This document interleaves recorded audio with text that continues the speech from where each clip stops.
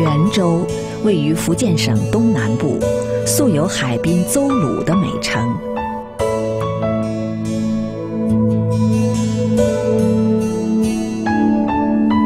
这里汇通天下，人杰地灵。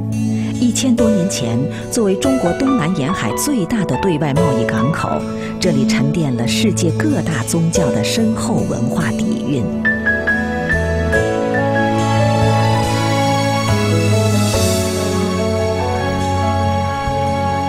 因而，在建筑、雕塑、石刻、陶瓷都各有特色，兼容并蓄中另有闽人风骨，别具韵味。这里是海上丝绸之路的起点，也是连通世界文明的桥梁。这就是泉州。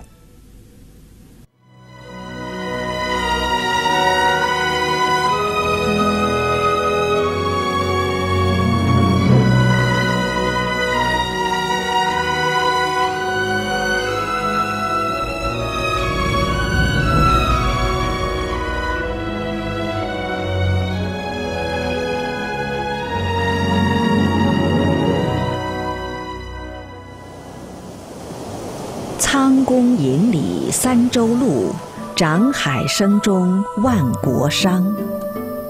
这是古人眼中泉州刺桐港的繁盛景象。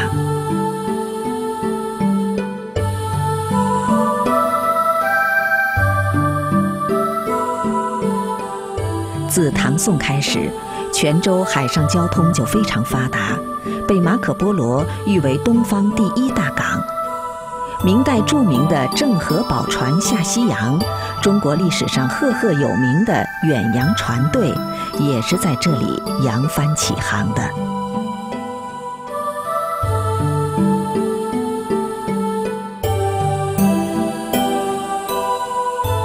早在宋朝，泉州的造船技术就已经比肩世界先进水平。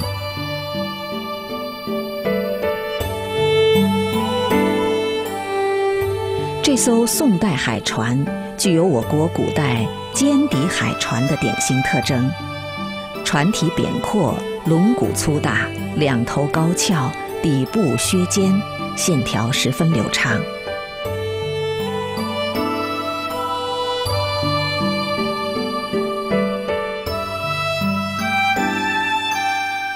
以精湛的造船和航海技术为基础。泉州开展了世界范围的经济和文化交流活动。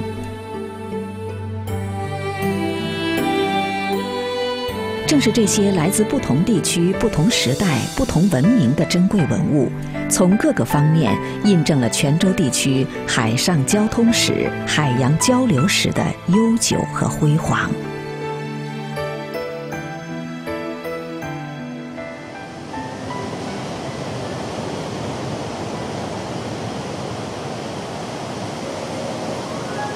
泉州东郊的洛阳桥，是我国现存最早跨海粮食大石桥。洛阳桥原名万安桥，意思是万无一失、平安渡江。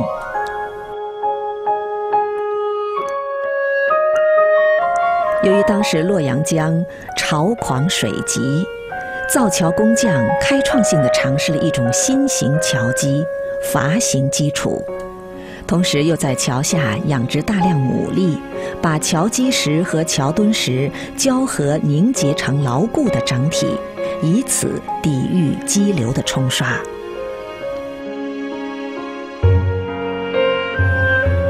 激浪涨舟，浮运架梁。洛阳桥的建成，不仅使洛阳江天堑变成通途，对泉州海外交通事业的发展也起着重要的作用。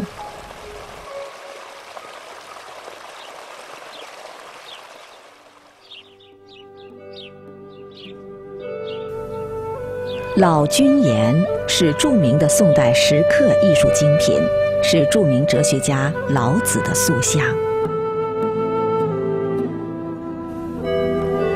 德经》是老子最主要的著作，讲究无为而治、天人合一，在我国哲学史上占有重要位置，影响十分深远。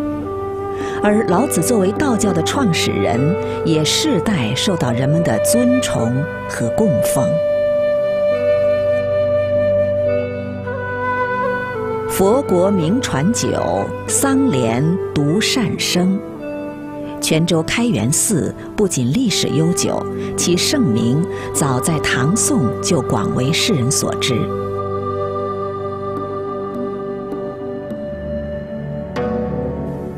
开元寺始建于唐朝，很好的体现了唐朝宏模巨制、巍峨壮观的建筑风格。大雄宝殿中供奉的御赐佛像，是佛教密宗的最高神之大日如来。殿中佛像金光闪烁，衣纹清晰，神容慈祥，法相庄严，工艺精巧，令人叹绝。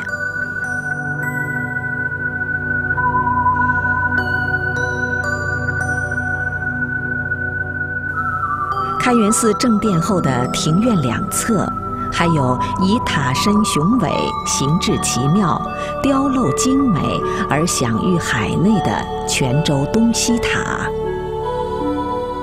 东西塔是八角五层楼阁式仿木结构石塔，历经七百多年风霜雨露而巍然不动。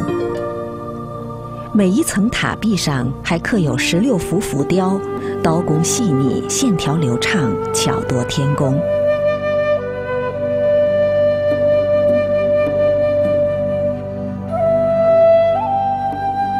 开元寺是我国古代建筑瑰宝，在国内外名刹中也是不可多得的佼佼者。它既是中世纪泉州海外交通鼎盛时期社会空前繁荣的象征。也是历史文化名城泉州特有的标志。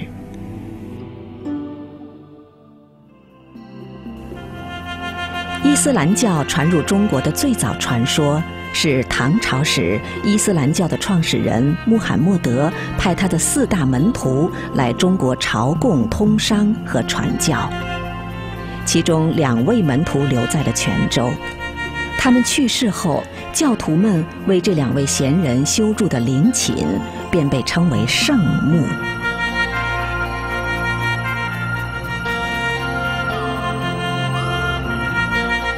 随着泉州商贸日益繁荣，伊斯兰教徒日益增多。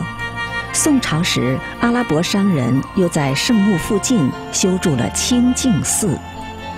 清净寺仿照叙利亚大马士革伊斯兰教礼拜堂的建筑形式建造，是阿拉伯穆斯林在中国创造的现存最古老的伊斯兰教寺。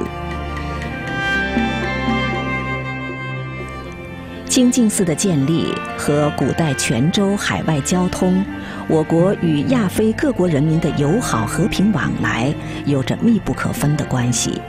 是中国和阿拉伯国家文化交流的历史见证，也是泉州对外交流重要史迹之一。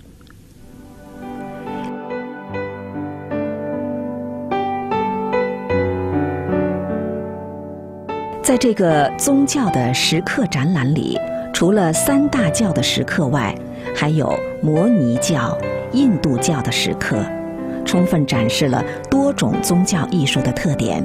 成为多宗教融合的圣地。古代泉州宗教之间的相互影响，展示的正是这样一种永不止息的文明对话。泉州以它海纳百川的宽阔胸襟和兼容并蓄的宏伟气魄。不仅吸引了道教、佛教和伊斯兰教这些主流的宗教，也吸纳了像摩尼教这样相对边缘的教派，成为名副其实的宗教博物馆。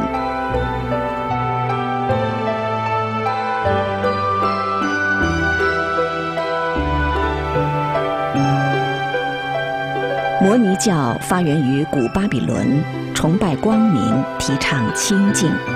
传入泉州后，和中国文化融合，成为明教。明教。